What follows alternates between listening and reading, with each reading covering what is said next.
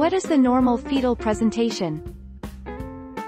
Normally, the position of a fetus is facing rearward, toward the woman's back, with the face and body angled to one side and the neck flexed, and presentation is head first.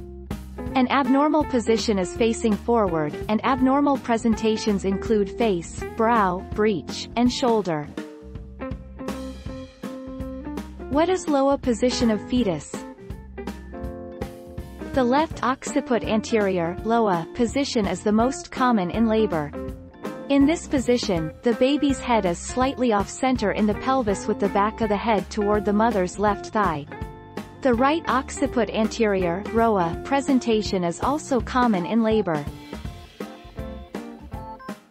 Does cephalic presentation change?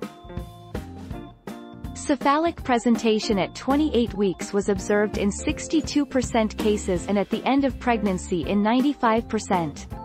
Dot dot dot. This presentation, once attained, did not change after the 33rd week. With regard to breech presentation, changes are possible even up to the 36th week. Which position is best for normal delivery? The best position for your baby to be in for labor and birth is head down, facing your back, so that their back is towards the front of your tummy. This is called the occipito-anterior position. It allows them to move more easily through the pelvis. What is abnormal presentation?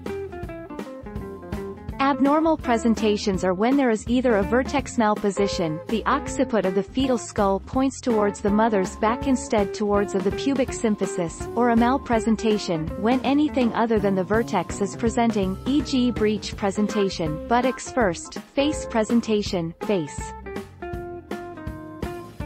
Don't forget to subscribe and hit the bell notification for more of these videos.